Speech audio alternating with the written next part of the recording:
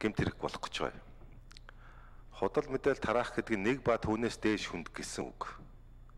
Ер нь бол одоо ингээд нэг хүнд л ярихад л худал мэдээл тарахч. Тэгэхээр энэ худлаа ярьдаг бүх хүм л ялд итлэх болчиход байгаа юм. Тэгэхээр ийм их шорон одоо ийм их ял боломж байгаа мó одоо 3 саяла шоронд орчих үү. Худлаа ярьдгүү би одоо бүгд бурхан багш Нирван дурыг үзүүлсэн ийм сайхан гэгэрцэн хүмүүс би байдаг гэдэгт бол нэг л итгэхгүй байна. Тэгээ худлаа яриул ял шийтгэх нэгчингүүд нь худлаа яриахаа болждаг гэж би бас ойлгохгүй байгаа юм. Тэгэхээр ингэж одоо хүний үзэл бодол үг хэлийг бүр чангалах гэж байгаа санаа зорилго нь яг юу вэ гэсэн эхний асуулт байна. За хоёрдугаарт бол энэ доромжлохыг бол миний хувьд дэмжихгүй байгаа. За ер нь бол Монголд нэр хочгүй хүн гэж байхгүй. Тэр байтугай монголчууд бол шооч арт юм уу? бүгд биеиндээ нэр хоч өгдөг. Бараг нэр хочинтой зарим дуртай байдаг. Ер нь бол яг оноогод өгчдөг ш түнд. Нэр хочин. Ялангуяа манай говийнхан бол.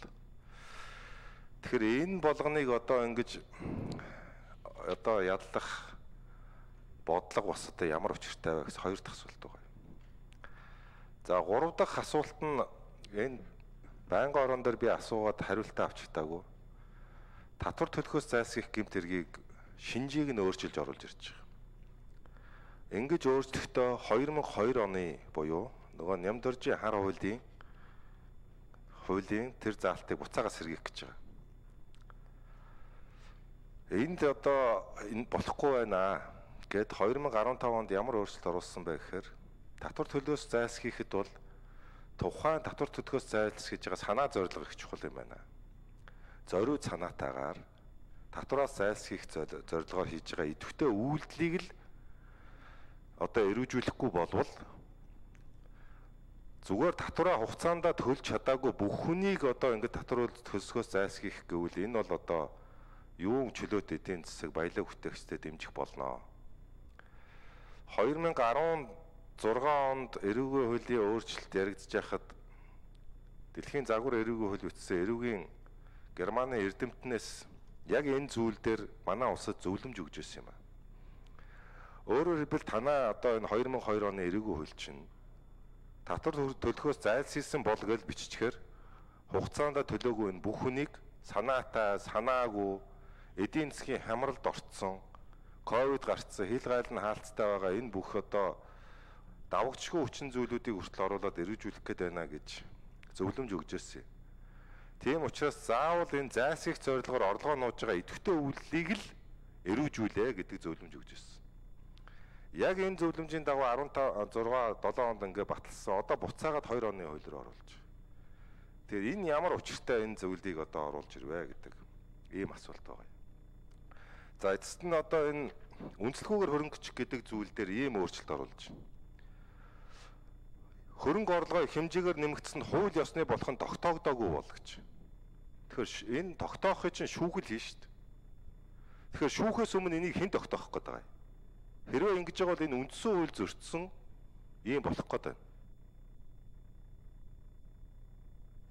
За хэн хариулах вэ? За Нямбатар сайд хариулъя.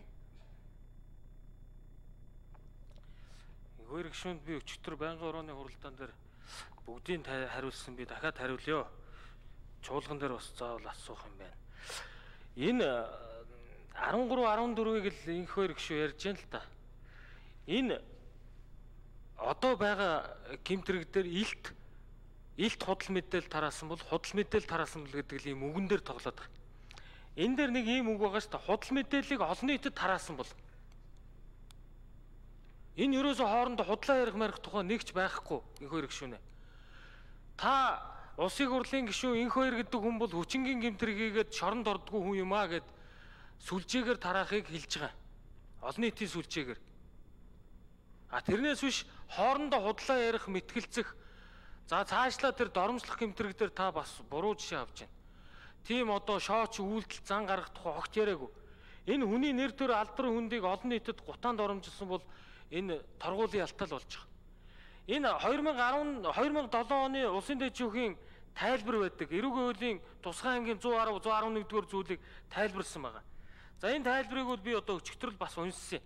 Доромжлох гэдэгт нийгэм тогтсон хүмүүсийн хоорондын харилцааны болон зан суртахууны шаардлагын хэм хэмжээ хүний үндэс зан заншил уламжлалт харьчилсан тухайн хүний нэр төр алдар хүндийг санаатаа гутаасан үйлдэлийг л хэлнэ гэж байгаа.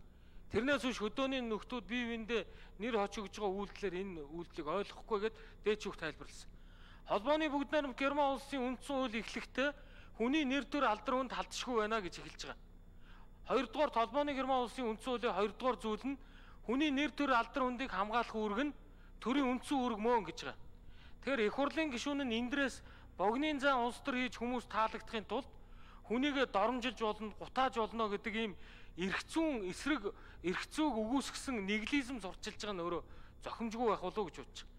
Сая жилийн өмнө бидний үрлэгэр дуурал болдог Япон улс сошиалд бусдыг гутаанд оромжлох үйлдэлийг 20 хялтаа нэг жилийн 20 хялтаа болгож зүүлчилсэн байлээ. Тэгэхээр Герман э, Герман одоо Япон гэдэг энэ зүйн өндөр хөгжилтэй зүйн ухамсар соёлтой улс орнууд хүн төрөлхтний нийтлэг чиг хандлагын одоо тэр чиг хандлагыг тодорхойлж явдаг. Тэр утгаараа өнөөдөр сошиал сүлжээнээс шалтгаалж бутаагдсан, доромжлогдсон, гадуурхагдсан маш олон хүмүүс амнаас эрүүл мэндээр хохирч байгаа. Нийгмийн эрүүл мэндийн байгууллагаас гаргасан судалгаагаар өсвөр насны хүүхдүүдийн дунд сошиал гадуургалд өртсөн хүүхдүүдийн одоо нилээдгүй хэсэг нь амнасаа хорлох үйлдэлүүд хийгдсэн. Хэд хэдэн хүүхдүүд амнасаа хорлсон гэдэг ийм статистик тоо баримт байгаа. Тэгэхээр таны нэг өдрийн одоо энэ улс төр хэдэн хүний хэдэн хүүхдийн амнаас эрүүл мэндийн үнэтэй юм бэ гэдгийг би танаас сөргүүлж асуумаар байна. За их хэрэгшүн тодруулъя. За үндслэхүүгээр хөрөнгөжих гэдэг дээр ингэж байгаа байхгүй юу? Хөрөнгө орлого гэх хэмжээгээр нэмэгдсэн нь хууль ёсны болох нь тогтоогдоогүй бол ял шийтгэн гэж байгаа. Тэгэхээр хүний гин буруу шүүх тогтоож штэ үндсэн хууль заснаар. Шүүх тогтоох хүртэл хэнийг ч гэмтэргүүлсэн гин буруутай тооцохгүй гэдэг үндсэн хууль бичээтэй зарчим байна. А тогтоогдоогүй бол гэчгээр энэ шүүхээс өмнө нэг тогтоогдоогүй бол гэдгээр хүнийг ял шийдэх гэдэг штэ. Тэгэхээр энэ логик чи өөрөө үндсэн хууль зөрчөөд байгаа юм биш үү гэсэн ийм асуулт байгаа. За хоёрдугаар улсын ерөнхий прокуророос энэ хэлбэр э, хэрэг хэлбэршүүлэх журмаар шийдэхдээ авилгын хэрэг дээр оруулсан гол санаа бодол бол нөгөө авилгыг ав гэсэн том эзнээ хэлэх юм бол чиний өөрөө чинь одоо ялыг хөнгөнөөр шийднэ гэсэн санаа багхгүй юу? А практиктээр тэгж хэрэглэхгүй байгаа болохоос ийм асуудал үүсээд байгаа. Тэгэхээр энэ хэрэг хэлбэршүүлсэн журмаар За сайн зураг төрийн нарийн бичгэн дээр хариулъя. За хурал даргалах зөвшөөрөл бас Чимбат прокуророос нэмээд хариулъя гэж байна. За нэгдүгээр асуултанд товч хариулъя. Үндсгээр хөрөнгөчгтэр тэр гин бурууг тогтоох асуудал ерөөсөө инквайри гишүүн энд яриаг байхгүй. Тухайн тэр орлогоо их хэмжээгээр нэмэгдсэнийг хууль ёсны болгон тогтоогдоогүй. Тэгэхээр энд нөгөө гин буруугийн асуудал ерөөсөө яриаггүй. Харин өмнөх одоо томьёолоор бол энэ их усөрөө өөрөө нотолж чадаагүй болгоод өөрөө өөрөөр нь хэрэг хүлээлгээд байсан ийм зохицуулт байгаа. Энийг л бид нар бас зас залруулж орж ирээ гэж байгаа. Энийг гэхдээ яг хилцээлгийн үед бүрэн ярилцаад явах болцоотой. Төрүүн таны бас татварын асуудал ярьж байна. Энэ эрүүгийн хуулийн хууль ёсны зарчим дээр байгаа. Энэ хуулийн нэр томьёо хугт төрийг тайлбарлахад Монгол улсын хууль олон улсын гэрээг баримталж болно гэдэг. 2021 онд бид нар татварын ерөнхий хуулиа баталсан. Татварын ерөнхий хуулийн 6-гийн 1-24 дээр татвараас зайлсхийх үүдлүүдийг бүр тодорхойлоод өгсөн. Өөрөөр хэлэх юм бол татвар ногдохоор бууруулах, татварын суурийг багасгах, эсвэл алдагдлыг нэмэгдүүлэх үндсэн зорилготой энэ хуулийн 16 дугаар заас үйлдэл гэж байгаа. 16 дээр очингууд энэ татвараас таны яриад байгаа тэр За Чимбат прокурор нэмж хариулъя гэсэн. Микрофоныхаа 80 дугаар микрофон.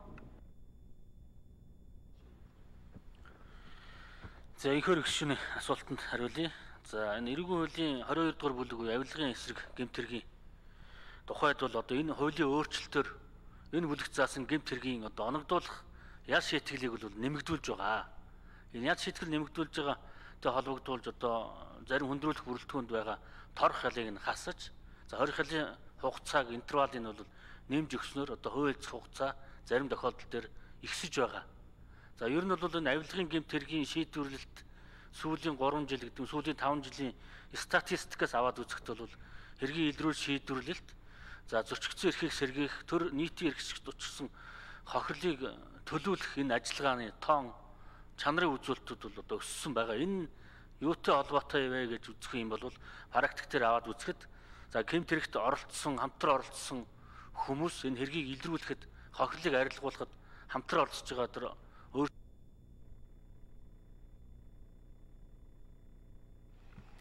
За одоо Нанцтай Наранбаатар гişрээ